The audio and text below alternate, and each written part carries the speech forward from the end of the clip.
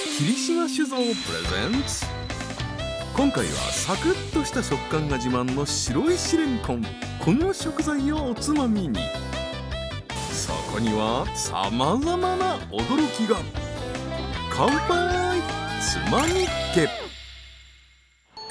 佐賀県佐賀市。夢咲夜の店主が河合昇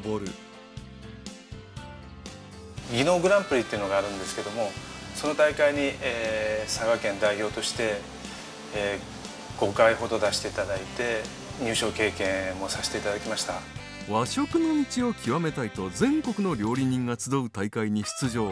3度も入賞するほど腕を上げていった河合。今回レンコンを使ったおつまみは何でしょうか？はい。レンコンのマヨ味噌田楽です。調理の工程は？ご覧の通り。まずはレンコンの皮を剥いて沸騰する前の水につける。今回はホクホク感を出したいんで水からいきます。続いては田楽味噌を作るのだが味噌と抜群の相性なのが今回マヨネーズ。マヨネーズですか？えー、マヨネーズに卵も入ってますし、まあ、油で味もまろやかになるんですよねレンコンが茹で上がったら1センチぐらいの厚さ。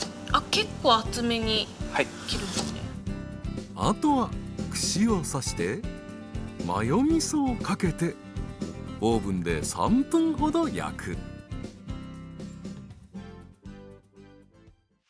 たったこれだけの工程でレンコンのマヨ味噌田楽完成。ほっかほくしてますねレンコンってこんな食感なんだ、はい、うん。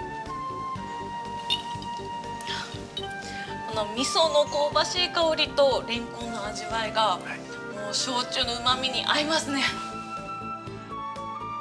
レンコンのマヨ味噌田楽はこの焼酎で乾杯。